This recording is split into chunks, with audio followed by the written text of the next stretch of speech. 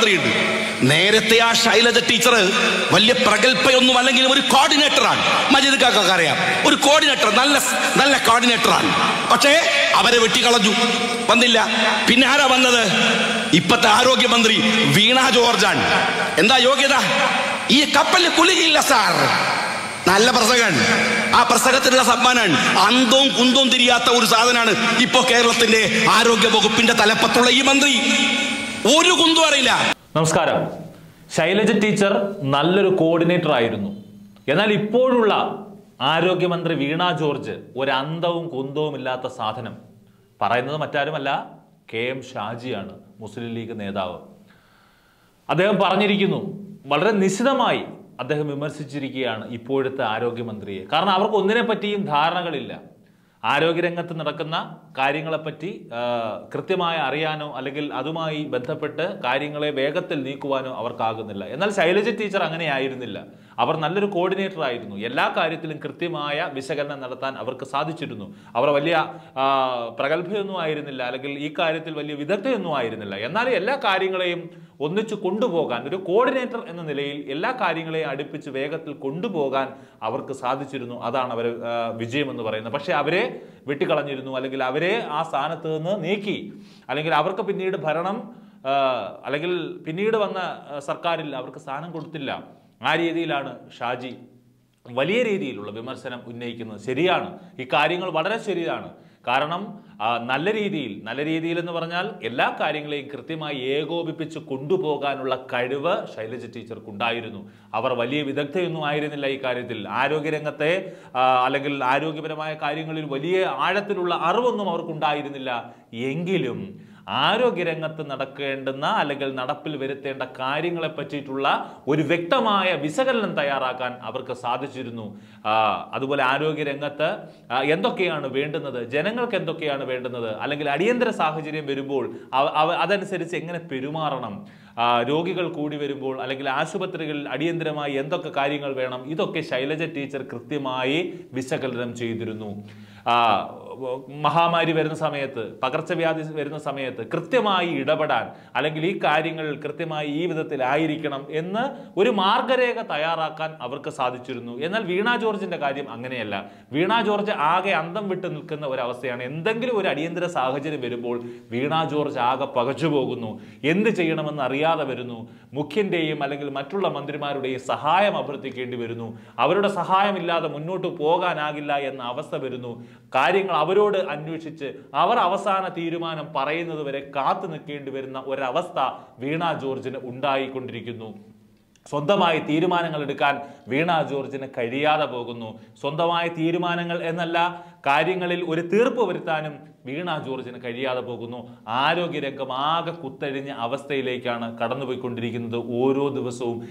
ആരോഗ്യ Keralam number one ആണ് അല്ലെങ്കിൽ കേരളം ആരോഗ്യത്തിൽ നമ്പർ വൺ ആണ് എന്ന് ഓരോ ദിവസവും അടിവരയിട്ട് ആഴത്തിൽ പറഞ്ഞുകൊണ്ടിരിക്കുന്ന ഇവർക്കൊന്നും ആരോഗ്യരംഗത്ത് സംഭവിക്കുന്ന മാറ്റങ്ങൾ തിരിച്ചറിയാൻ സാധിക്കാതെ പോകുന്നു. ഗവൺമെന്റ് ആശുപത്രികൾ അതായത് സാധാരണക്കാർക്കും അല്ലെങ്കിൽ മധ്യവർത്തികൾക്കും ഒക്കെ ആശ്വാസമാകേണ്ടുന്ന സർക്കാർ ഹോസ്പിറ്റലുകൾ പലപ്പോഴും അവർക്ക് ചികിത്സ നിഷേധിക്കുന്ന അന്യമാകുന്ന അവസ്ഥയാണ് കാണുന്നത്.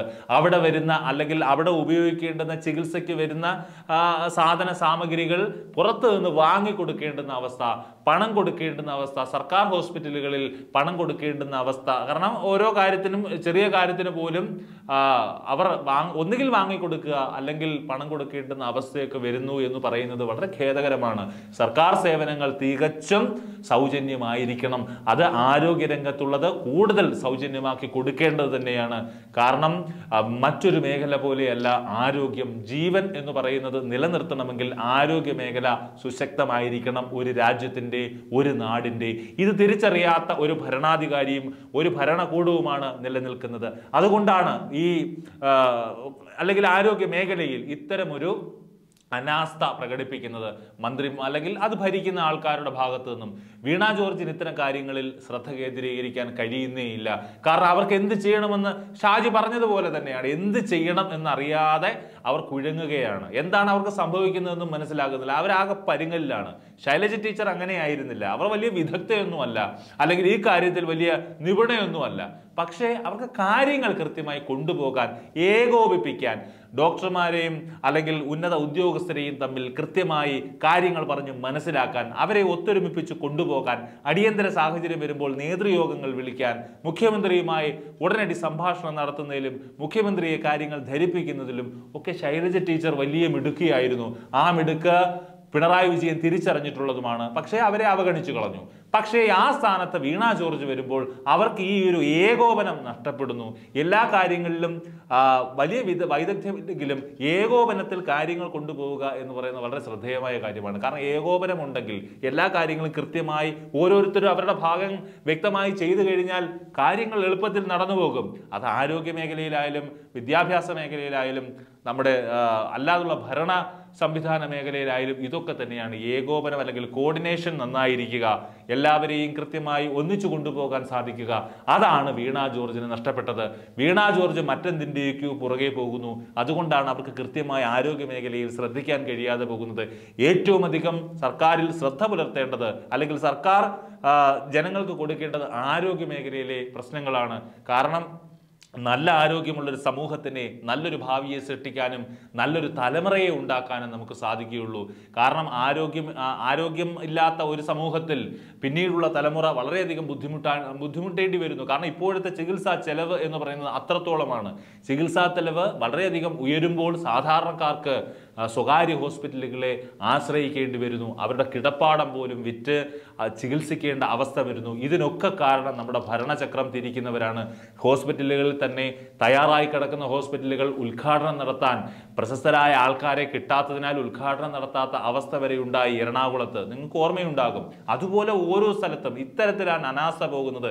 എന്നാൽ ജനങ്ങൾക്ക് അത്യാവശ്യമായി സേവനങ്ങൾ ലഭ്യമാക്കേണ്ടതുണ്ട് സേവനങ്ങൾ കിട്ടേണ്ടതുണ്ട് എന്നുള്ള ചിന്ത ഭരണാധികാരികൾക്ക് ഇല്ലാതെ പോകുന്നു. പ്രത്യേകിച്ച് വീണ ജോർജിന്. കെ എം ഷാജി പറഞ്ഞത് നൂറ് ശതമാനം സത്യമാണ്. വീണ ജോർജിന് അത്തരം പോരായ്മകളുണ്ട്. അത് തിരിച്ചറിയാൻ മന്ത്രിസഭയ്ക്കാകണം. അതുകൊണ്ടായിരിക്കാം ഒരുപക്ഷെ മന്ത്രിസഭാ പുനഃസംഘടന എന്ന് പറയുന്ന സംഗതി പോലും അടുത്ത് വരാനിരിക്കുന്നത്. ഉടൻ തന്നെ അക്കാര്യത്തിലും തീരുമാനമാകും. ഒരുപക്ഷെ ഇത്തരം പോരായ്മകളാകാം വീണ ജോർജിനെ ആ സ്ഥാനത്ത് നിന്ന് നീക്കപ്പെടുന്നുണ്ട് എങ്കിൽ നമുക്കതിൽ നിന്ന് മനസ്സിലാക്കാൻ സാധിക്കുന്നത്. മറ്റൊരു വാർത്തയുമായി നിങ്ങളിലേക്ക് എത്താം. അതുവരെ നന്ദി. ആരോഗ്യമന്ത്രിയുണ്ട്. നേരത്തെ ആ ശൈലജ ടീച്ചർ വലിയ പ്രഗത്ഭയൊന്നും അല്ലെങ്കിൽ ഒരു കോർഡിനേറ്ററാണ്. മജീദ് കാക്ക അറിയാം. ഒരു കോർഡിനേറ്റർ നല്ല നല്ല കോർഡിനേറ്ററാണ്. പക്ഷേ അവരെ വെട്ടിക്കളഞ്ഞു. വന്നില്ല. പിന്നെ ആരാ വന്നത്? ഇപ്പത്തെ ആരോഗ്യമന്ത്രി വീണ ജോർജാണ്. എന്താ യോഗ്യത? ഈ കപ്പലിൽ കുലുകില്ല സാർ. നല്ല പ്രസംഗൻ ആ പ്രസംഗത്തിനുള്ള സമ്മാനാണ്. അന്തവും കുന്തവും തിരിയാത്ത ഒരു സാധനമാണ് ഇപ്പോ കേരളത്തിന്റെ ആരോഗ്യ വകുപ്പിന്റെ തലപ്പത്തുള്ള ഈ മന്ത്രി. ഒരു കുന്തും അറിയില്ല.